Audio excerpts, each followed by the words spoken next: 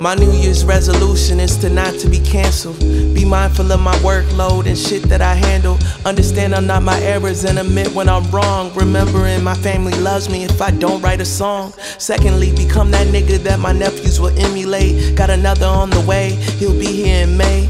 So I got a copper ticket. I don't wanna be late because I miss so many memories. I live in LA. Some niggas want the cars, some niggas want clothes. Some niggas went to therapy and brag about growth.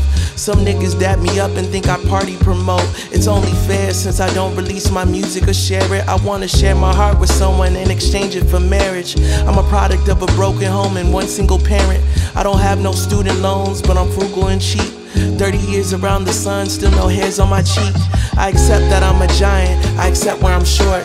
I accept that I be trying, that be making it worse. I accept when I'm a tyrant, I accept when I'm gentle. I accept that no one's perfect, but I'm still judgmental.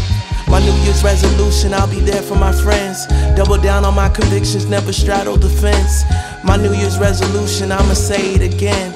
I'll be my favorite version all the way to the end.